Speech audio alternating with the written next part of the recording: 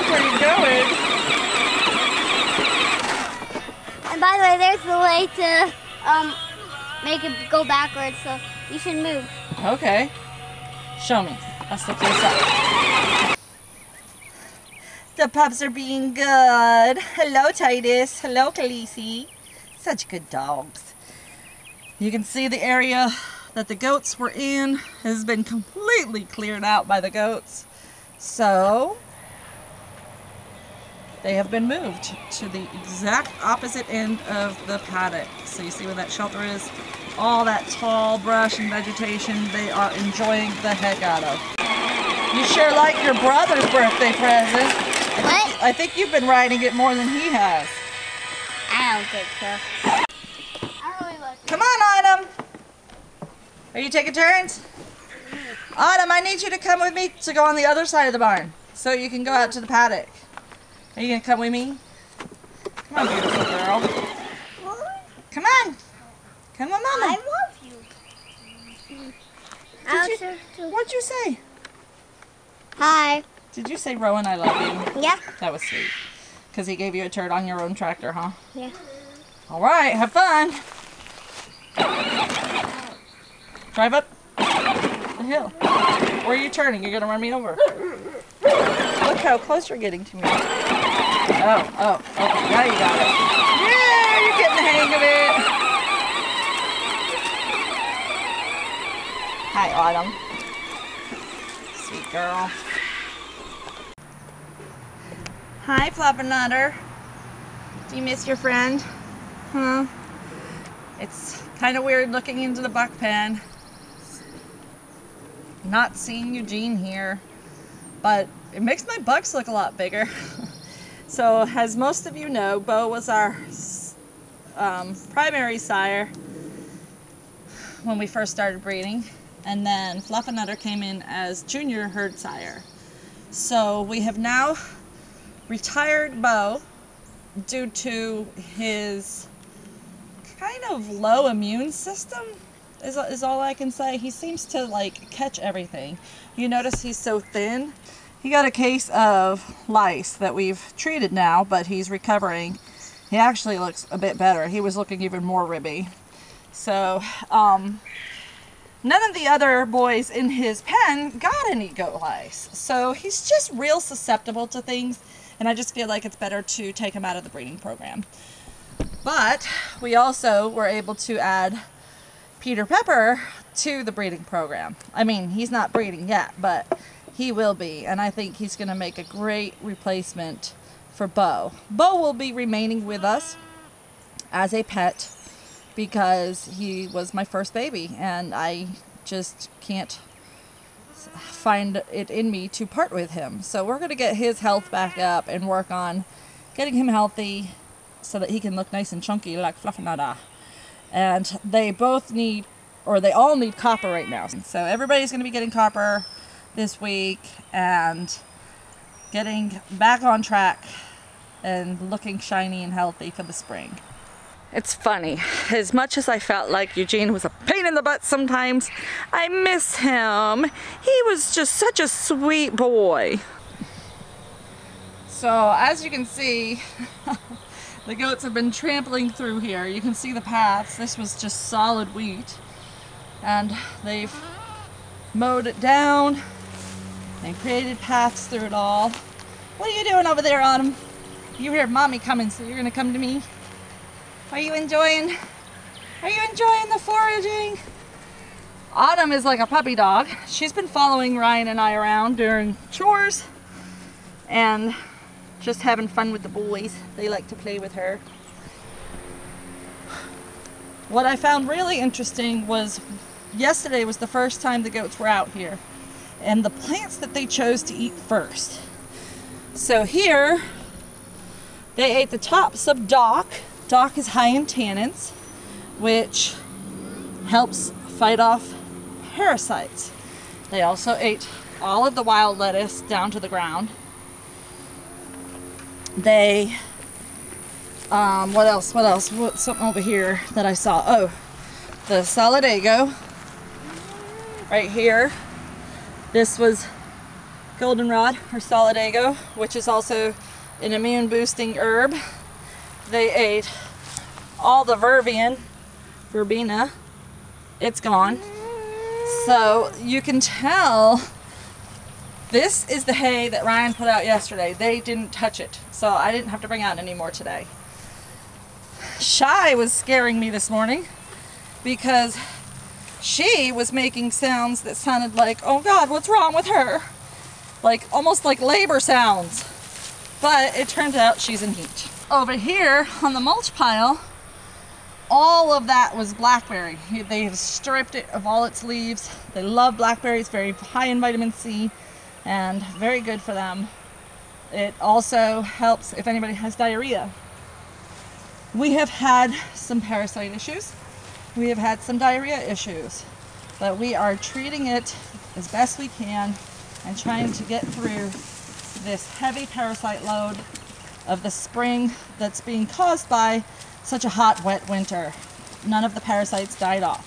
So moving them to this new pasture area was a huge part of fighting the parasite cycle.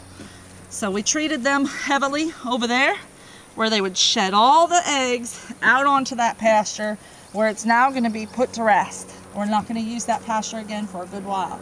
And then we bring them over here that has been resting and let them eat to their heart's content without any parasite fears. We are still keeping a close eye on everyone, but things are improving. It's been kind of a stressful couple of weeks here, and that's part of the reason why I haven't been able to do videos as, as much as I'd like to, is because my babies have been sick. So I've been I've been nursing them all back to health. Ruby is doing good.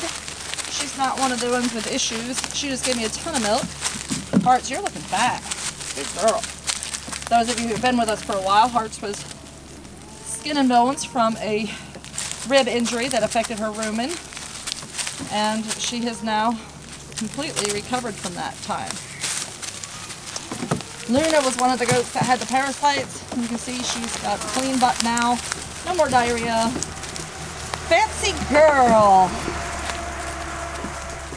Fancy girl, my favorite goat in the whole world. My bestest, bestest friend. She is due to kid tomorrow. So we are keeping close eye on her and Daisy Mays. They are both due to kid tomorrow. And you can see her udder is starting to fill up. Her vulva is looking poofy. Her belly is looking huge.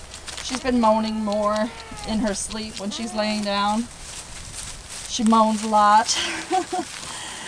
Fancy Girl is not one of my good milk producers. She's my favorite because she was my first and because she has got the most stubborn, obnoxious personality and I tend to gravitate towards those kind of goats. She's my diva. She is my diva. So I love her so much. I'm hoping that her and Fluffernutter will produce a banded doeling. I have never gotten a doeling from Fancy Girl, so cross your fingers and say your prayers because it would be so awesome to get that from her. And if they had the white band, because her and Fluffernutter both have a white band, so it's a good chance. Oh, I wonder what this flower is. I don't know its name, but Kitty seems to like it. This yellow top flower. It's not yellow top. i that's toxic to livestock, so I'm pretty sure they wouldn't be eating it if it was that. Um, okay. Yes, Daisy Mays. She does not look very big. I don't know if she carries small. This is our first kidding with her. She's not a first freshener. And she is from a beautiful line of goats at Big K Farms. And you can see her udder is filling in, but her vulva's not quite as swollen. And now here's the real surprise, guys. Rosemary is more likely that she is bred now if you notice the udder chub. So we thought Rosemary was bred several times because she's always fat, but this time she's got a little udder chub happening. So we think that she is due May 16th if that's the case. Poor Shy was one of our goats that had the parasites. You can see she still hasn't completely cleaned off on the back end. She's no longer suffering from diarrhea. I should probably just give her a bath. I don't want to do that. If anybody has noticed the little bumps on her side of her cheek, those are salivary cysts. We've had that once before in our herd, Not sure what causes it, whether it's thorns in the plants like she's eating now, have thorns, but they usually take care of themselves with no problems.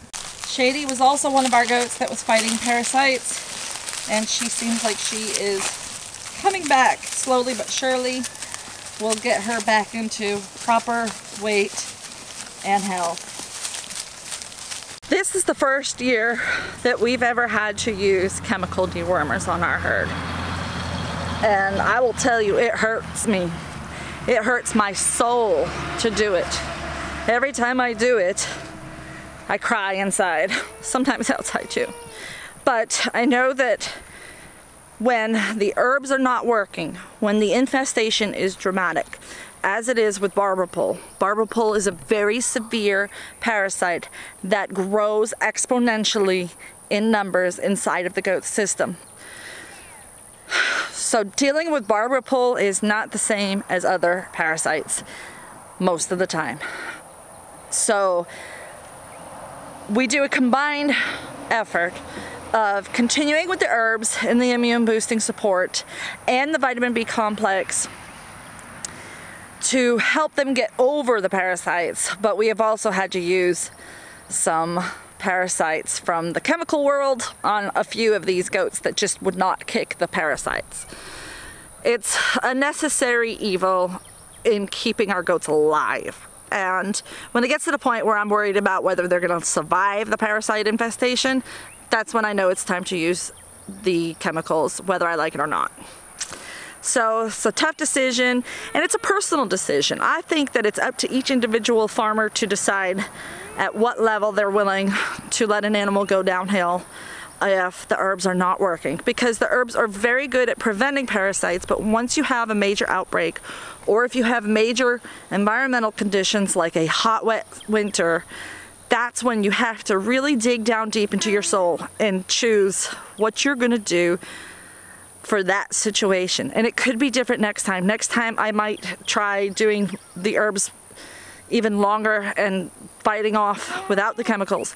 But I had several goats that were not doing good at all. And I made that decision and I'm sticking by it and I'm happy that I did because I don't want any of my goats to suffer because of my health standards. So my health standards say herbal all the way, but if I come down with pneumonia, you bet your butt I'm gonna go to the doctors and get antibiotics. I'm not crazy.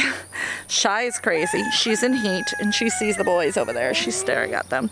And so her moaning like that scared me today because she was one that was fighting parasites. But you can see She's bellowing for the boys. In fact, when I went to take them out, she stopped at the Bucks door and would not go any further. Even though all this lush vegetation was out here, she just wanted to be with the boys.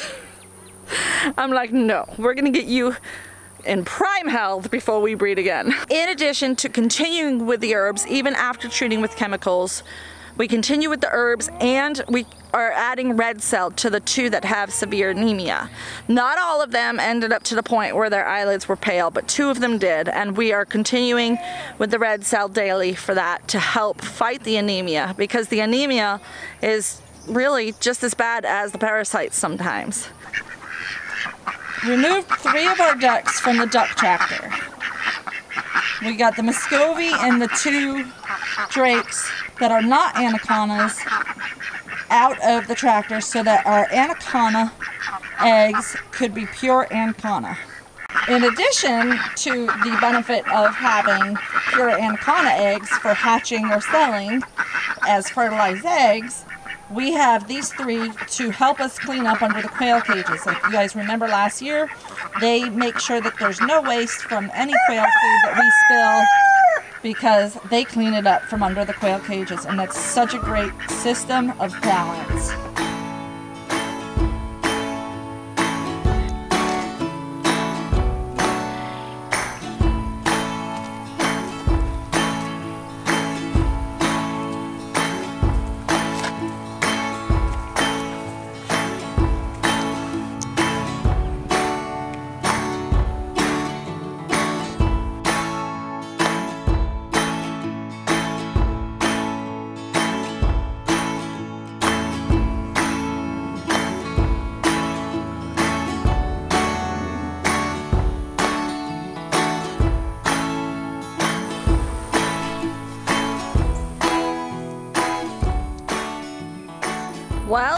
What I have planted in the garden this year has done fantastically. I just haven't got it planted yet. So that's a little hard in, on my ego, but I know that in time I will get it done. We have had some complications this spring and we're just working through them the best we can. And all of my tomato plants are begging me to get in the ground and it will happen eventually. The good thing is, is we live in Georgia. We have a very long growing season. I have planted tomatoes in July and gotten harvest before our frost. So I'm trying not to stress about it and just enjoy the moment of the day. Something I stress over and over to other homesteaders is how beautiful and wonderful it is to barter with other homesteaders. It's amazing how many things you don't even think about as possible trades that you can make with people. So we have 10 Royal Palm turkey eggs in the incubator and they hopefully will hatch soon.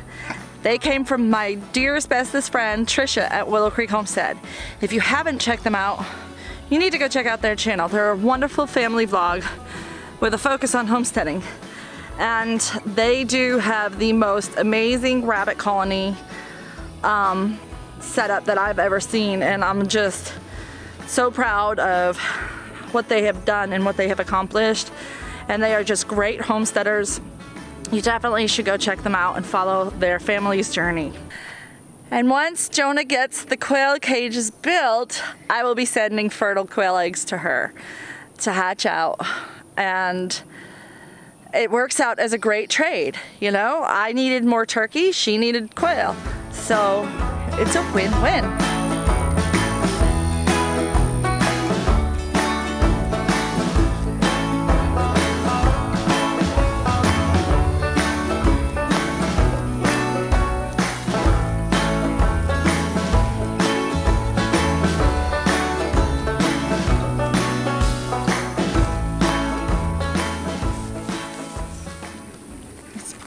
Funny when there's so much vegetation that they can be lazy and lay down and eat it.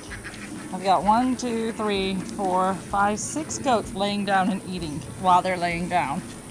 Goofy goats. Lazy, goofy goats. So that's where we are now. That's what we've been up to. And hopefully I can find the energy to do some more filming now. So thank you for your patience while we work through our difficult times. And we'll see you next time on Wholesome Roots.